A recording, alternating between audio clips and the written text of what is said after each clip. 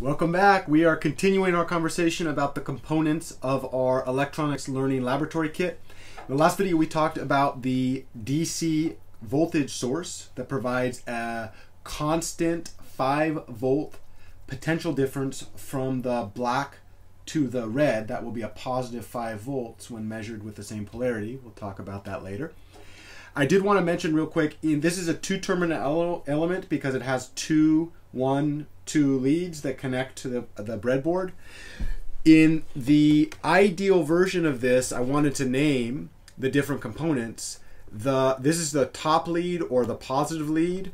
This is the negative lead, so the little like lines that pop out of that represent wires.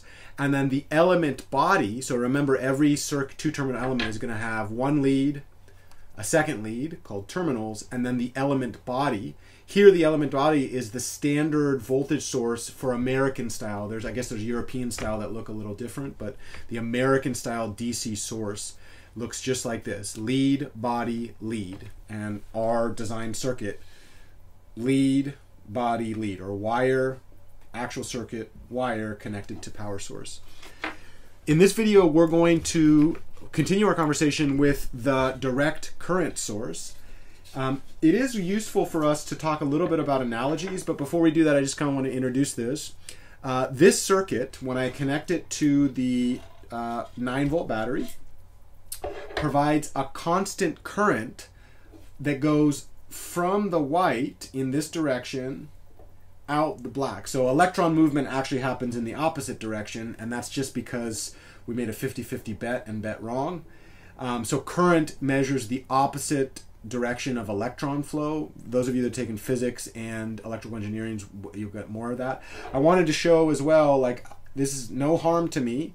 Um, this is one of the benefits. These are super, they're a lot cheaper than standard laboratory equipment and they're supposed to be safe. One of the things that's interesting about bench power supply is that I could kill myself if I wasn't careful, depending on which power supply I'm using um, no way that I'm going to be hurt by this. Like, and uh, and uh, for a whole class set, it's much much cheaper than for a class set of bench power supplies. That's one of the benefits of this work. So, anyways, this provides a direct current.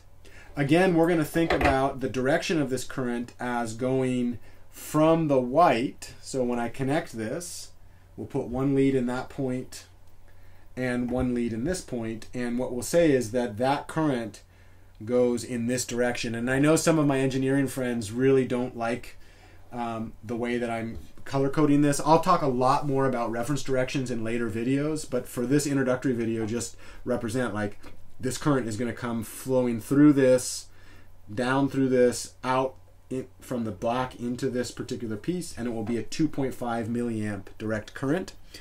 The associated digital model of this, because I have yet to update Fritzing, looks like this. So it's the little cap connected to the 9 volt battery. Electrical engineers, if you get mad at me, what I would say is go on to Fritzing and custom build a circuit that looks like this for me. Please get in contact with me. Um, I don't like email, but you can find me via email. If you're going to do this, you can email me. I give you permission right now because I'm happy to answer questions if you're going to do some extra work on, on this project. Um, so again, this is a representation, and the reason I put 2.5 milliamps is because the idea is I'm going to connect this circuit to this uh, 9 volt battery, and then once I do that, the electronic uh, component becomes a DC current source. Um, and then the corresponding ideal diagram looks like that.